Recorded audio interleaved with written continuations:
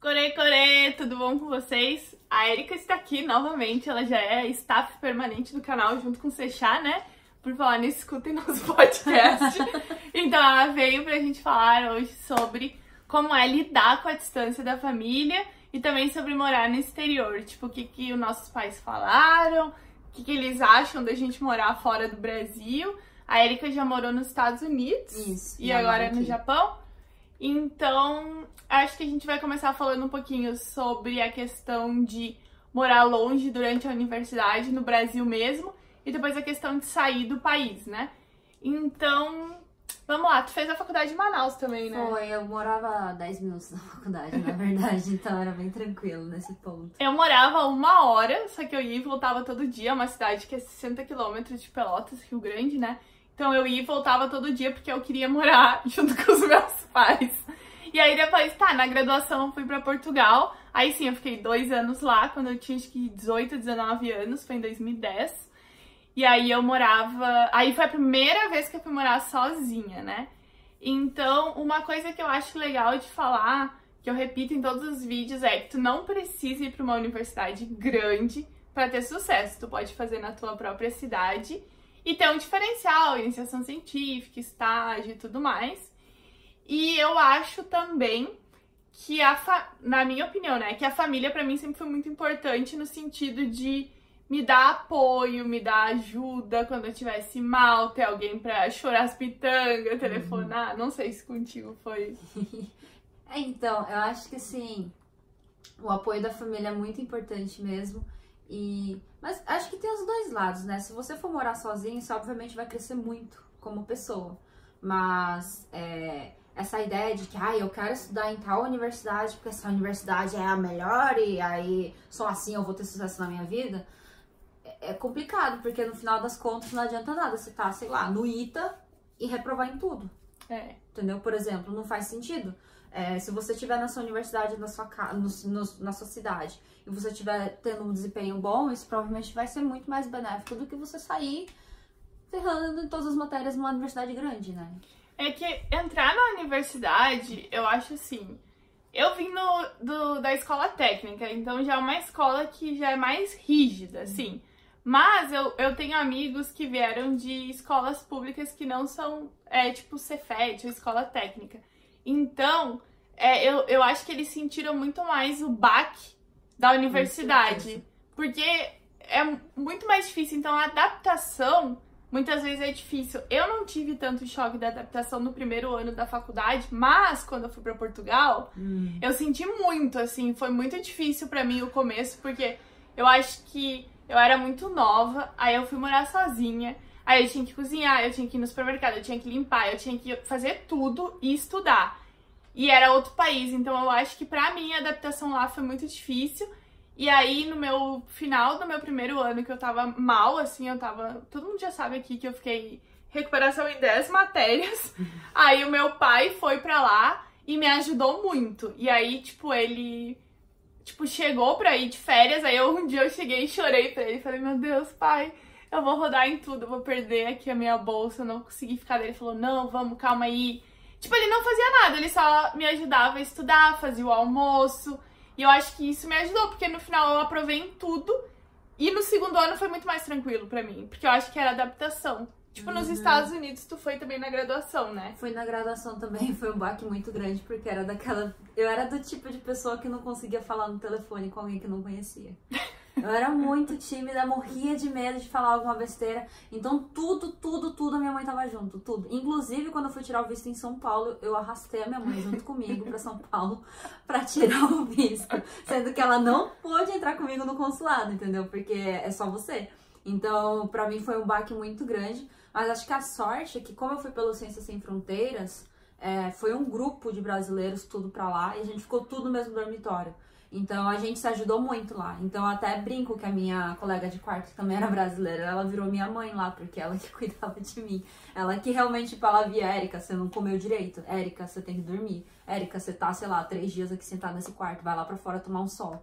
Então, pra mim, eu tive, eu acho que eu tive essa vantagem no final das contas, porque talvez se eu tivesse ficado completamente sozinha, tivesse dado problema. Eu acho que uma coisa, agora que eu lembrei, que é porque eu e a Erika, a gente é irmãs gêmeas separadas por um um Brasil, Brasil. né? Mas uma coisa que eu já vi que ela comentou sobre quando ela morou nos Estados Unidos, que aconteceu comigo em Portugal, foi eu engordar muito. Tipo, isso daí foi uma coisa que eu acho que pesou bastante. Porque assim, eu me mudei e aí eu não tinha uma alimentação normal. Eu comia muita. Bo... Aí a pessoa vai falar, nossa, como tu engordou tanto? Comendo. Acho que não Comendo. tinha outra opção, né? Não existe. Não é uma doença, não, é Não. tomar remédio.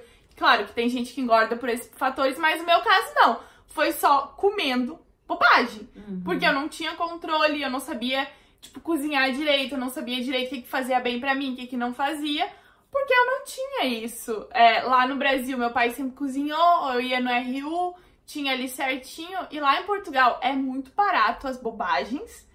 E tipo, aí tu, ah, não, só essa bobagemzinha aqui. Ah, não, só isso aqui. E aí eu acho que é o psicológico da pessoa que tá doente, porque tu tá num lugar diferente, aí tu começa a comer, aí tu, porque tu acha que tu te sente melhor, e eu acho que pode acontecer com muita gente, né? Entrar na faculdade e engordar muito, Sim, assim. sim. Eu tive, na verdade, é, pra mim foi. É, Eu acho que justamente os Estados Unidos também é outro lugar, que besteira é muito cara e comida saudável é muito. Oh, besteira é muito barata e comida saudável é muito cara. Tipo, a gente, eu comia em refeitório, não tinha acesso à cozinha no meu dormitório.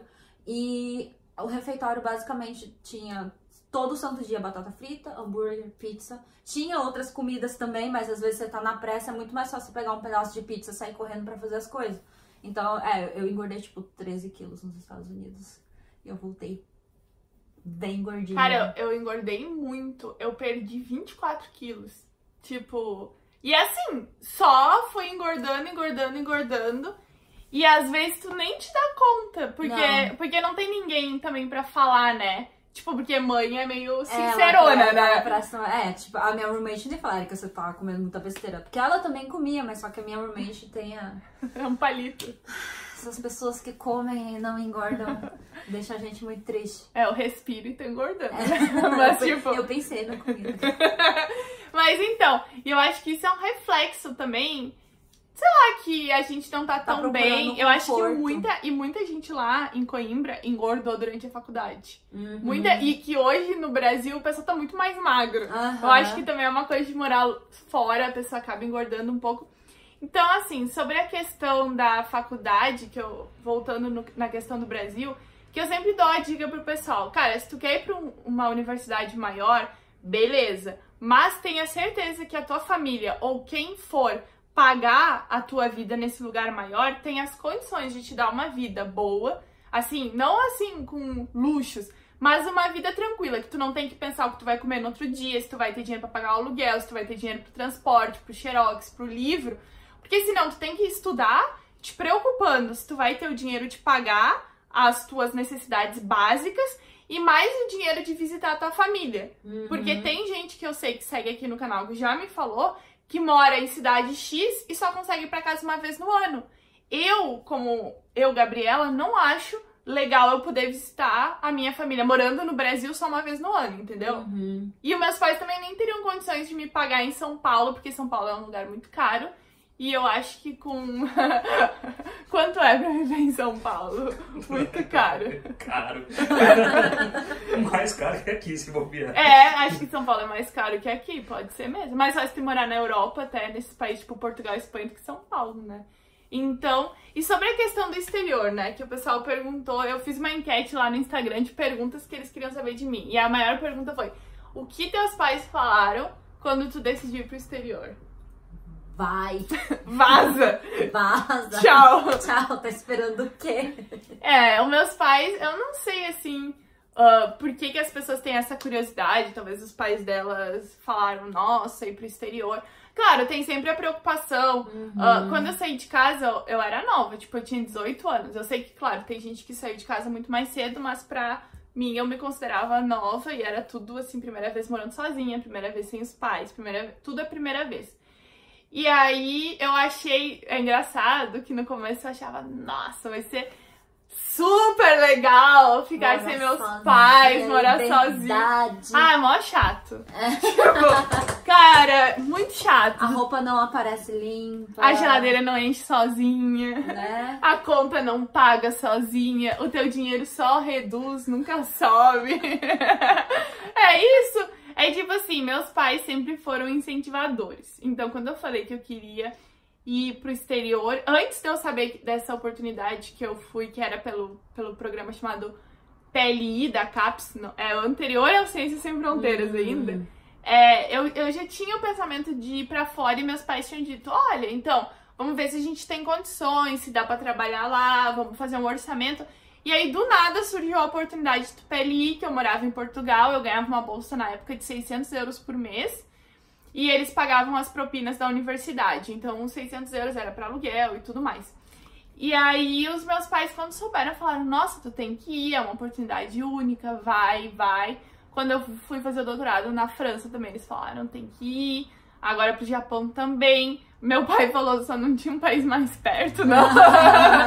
aí eu, eu, eu brinco assim: Pai, tu não mandou eu, eu crescer e, e voar alto pra longe? Eu falei: Mais longe que o Japão não dá. Porque aí eu já fiz a volta. eu falei: Pai, tu mandou eu chegar longe? Eu cheguei no Japão, né? Olha só, olha só como eu sou boa filha. Não sei. Tu, Érica, como é que é? Teus pais incentivaram, preocupados, como é que é? Ah, não, sempre incentivaram. Na verdade, meu pai desde sempre fala dessa bolsa do Next, por exemplo. Desde sempre ele me fala dessa bolsa do Next, que eu podia tentar. Só que a ideia dele é que eu viesse fazer o- a graduação, que não deu certo, por isso que eu vim pra pós. Mas quando eu falei do Ciências Sem Fronteiras, a minha mãe falou, ué, vai, se você conseguir, vai. Assim, é claro que eu acho que os dois ficaram preocupados, não Hum. tem jeito, né? Tipo, ainda mais eu, que era... Mãe, pelo amor de Deus, vamos lá fazer o negócio do visto comigo. Mas eu não vou poder dar. Não, mas a senhora me espera lá fora, por favor. Cara, é muito eu. Tipo, eu sempre quero que alguém vá junto. Só você só vai ali, não precisa fazer tudo, favor, não, não fecha. Então, tipo, eu era desse tipo de, de, de pessoa, então assim, a minha mãe, claro que ela ficou preocupada, mas é, o que ela sempre falou pra mim é que ela não criou os filhos pra ficar debaixo das asas, né? E- Bem que ela queria. né? É, talvez, né? Mas ela fala, eu criei pro mundo. E na verdade a minha mãe falou que durante o tempo, até agora, né, que eu tô aqui no Japão, muita gente fala, ai, mas você não sente saudade. Aí minha mãe vira que pergunta idiota, é claro que eu sinto saudade. Serona! claro que eu sinto saudade. Você pensa o quê? É minha filha, sabe? Mas ai, como é que você deixa? Eu vou fazer o quê? Eu vou ficar segurando ela aqui pra ela ficar triste, ela, ou ela não conseguir fazer as coisas que ela quer? É. Então, acho que esse é o ponto, né? Então, é claro que é, é aí que tá. Não é que eles não se importam, eles se importam, eles sentem falta, mas a gente tem que viver a nossa vida, né? Então, É, sobre a saudade, eu falo. Todo mundo sabe, que me conhece sabe que eu falo o tempo todo com meus pais no WhatsApp. Eu Aham. falo com eles por vídeo, por voz. Falo com a minha avó, falo com meus tios, meu irmão, todo mundo. A gente tem grupo no WhatsApp e tal, telefone. E eu, eu acho, assim, uma coisa que é importante falar pro pessoal que mora longe da sua família. É assim, gente, sempre avisem as pessoas onde vocês estão indo, o que, que vocês estão fazendo. Não ache que é porque vocês estão morando em outro país que vocês vão ficar dois dias sem dar notícias. E, e uma coisa legal de falar, assim, importante, é que as pessoas não estão tentando controlar a tua vida. Elas só são preocupadas. Tipo, os meus pais. Eu sempre falo, ó, tô indo lá na casa da Érica. Ah, a gente tá indo no restaurante tal, tô indo viajar pra tal lugar, tô indo não sei o quê. Porque, cara, eu moro sozinha aqui no Japão, entendeu? se acontece alguma É, se coisa acontece contigo. alguma coisa, assim, e eu nunca dou notícia. Eu sempre falo, aí de repente eu passo um, dois dias sem falar com a pessoa, a minha mãe vai pensar, poxa, onde é que ela tá, né? O que que tá Aham. acontecendo? Porque. E é importante vocês falarem, porque às vezes a gente não pensa, é meio inconsequente, né? Aí tem umas ideias, como diz a minha avó, ideia de jirico, que é umas ideias malucas. Aí acontece uma coisa ruim, entendeu? Já, cara, já aconteceu gente em Portugal da pessoa entrar num carro de um estranho, não me pergunte por quê, e tá lá na Espanha. A pessoa, tipo, meio bêbada numa festa, entrou num carro de um estranho, aí quando se deu conta, tava, tipo, na Espanha. É. Porque Portugal e Espanha é muito perto, aí tu fica, meu, o que que. Tipo. O que que aconteceu? Ou a pessoa some dois dias. Ah, não, é que eu fui na casa, não sei o que, tô no outro país. Aí tu fica. Como Hum. assim, sabe? Então eu acho importante você sempre avisarem onde vocês estão indo. Não, não tem contato com a família, mas avisa um amigo, avisa alguém pra. pra... É, não. Dê o seu whereabouts, né? Fale pra alguém onde você tá, né? E não fica aquelas dicas de mãe, né? Não entra em carro de estranho. Ah, tem que Não ser. vai na casa de estranho, não deixa as pessoas que tu não sabe entrar na tua casa. Eu acho que é uma coisa que o pessoal também tem que entender. Você tá morando aqui sozinho, mano, você tem que. Você tá tu e tu. Tu não vai ter mãe nem pai pra chegar. Ai, mãe, tô perdida, me vem buscar. Não tem mais isso, né? Então tem que realmente tomar muito cuidado. Se puder avisar sempre. Eu, na verdade, eu não converso muito com a minha mãe. Assim, sempre, sempre. Até porque ela é muito ocupada, mas sempre que dá, acho que é válido chegar e dar um oi. Uhum. E acho que a gente tem que aproveitar o fato de que a gente tem internet. tá? Porque assim, o meu pai, ele foi pro Brasil com 25 anos. Eu vim pro Japão com 25 anos. É, parece até. Não foi, não foi programado, mas foi como aconteceu.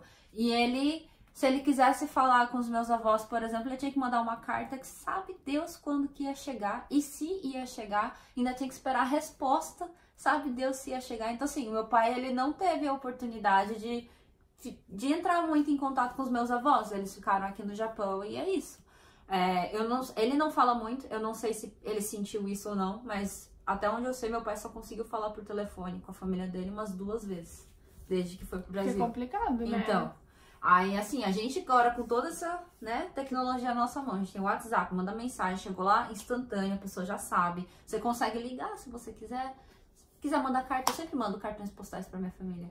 Então aproveita que você consegue manter esse contato, né? É, eu acho isso. E, e a maioria dos pais só vai querer que vocês, tipo, sejam felizes, consigam conquistar muitas coisas. Então, se tu tem um sonho de morar no exterior e teus pais falam algo do tipo, não, não dá ou não vai, o que eu sempre digo é conversar, entendeu? Tu já teve o teu tempo de pensar que tu quer ir pro exterior. Talvez tu tenha um pai e uma mãe muito protetor, que não querem que tu saia de casa, mas aí vai da pessoa. Senta, conversa, explica. Se tu conseguir uma bolsa, fala: olha, sim. vocês não vão precisar pagar, vai ser tudo pago, é, vai ser assim, vai ser assado. Eu vou entrar legalmente no país. É, eu vou tirar o visto, vou fazer isso. É porque importante, porque às vezes os pais dizem não porque eles não conhecem as oportunidades que É, Exatamente. existem.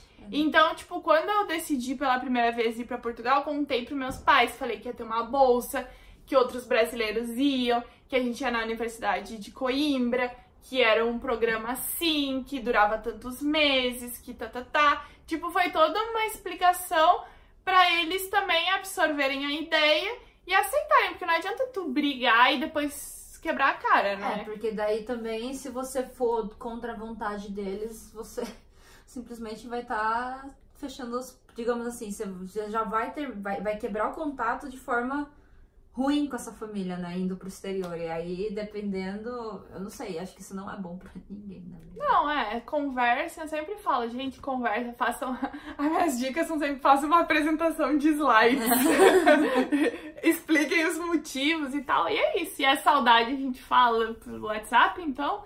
É, telefone, cartão postal, carta. E meus pais nunca foram contra, porque eu acho que muita gente ficou curiosa pra saber se eles tinham sido contra alguma vez. Nunca, nunca, nunca. E eles sempre dizem que quanto mais coisas eu conseguir conquistar, mais felizes eles vão ficar. E se eu quiser morar em outros países, tá tudo bem. Se eu quiser voltar pro Brasil, tá tudo bem também, que eu sempre vou ter minha casa lá. E é isso. Acho que sobre morar no exterior é não é sempre fácil, mas aí a gente acha amigos e irmãs gêmeas. e bom, espero que vocês tenham gostado. Vão lá no canal da Erika, se inscrevam, compartilhem, deixem o like, escutem o podcast Panoramas e até a próxima. Tchau! Tchau!